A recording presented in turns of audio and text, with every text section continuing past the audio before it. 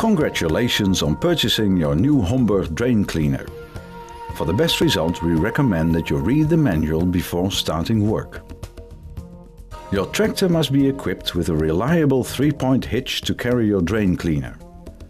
When using the types Junior, Delta and Senior, you also need a hydraulic pressure and return connection. The required coupling shaft speed is 400 rpm. So always use a 540 rpm shaft that runs at roughly 400 rpm at reduced engine speed.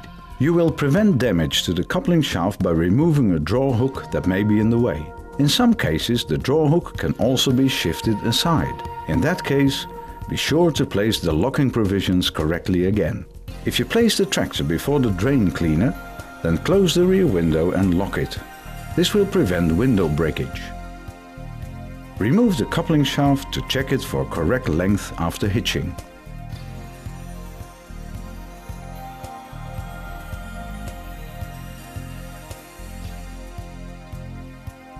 Reverse the tractor and slide the linkage arms correctly around the implement pins. In the interest of safety, you should always use reliable, properly functioning lock pins.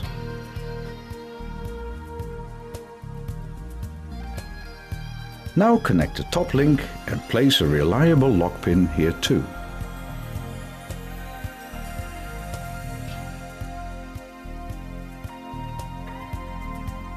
Then lift the drain cleaner to the right working height, roughly 10 centimeters above the ground.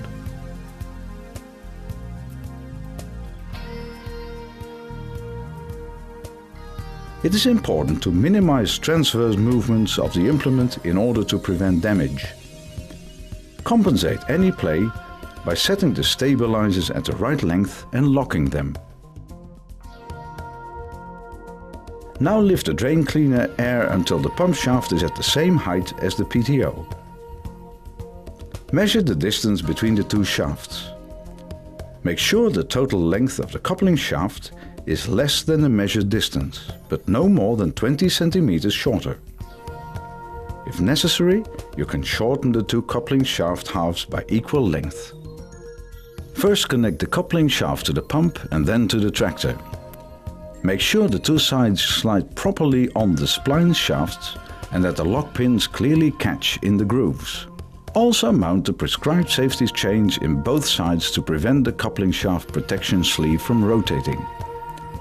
Of course, you always use a reliable, inspected coupling shaft. Now connect the hydraulic hoses.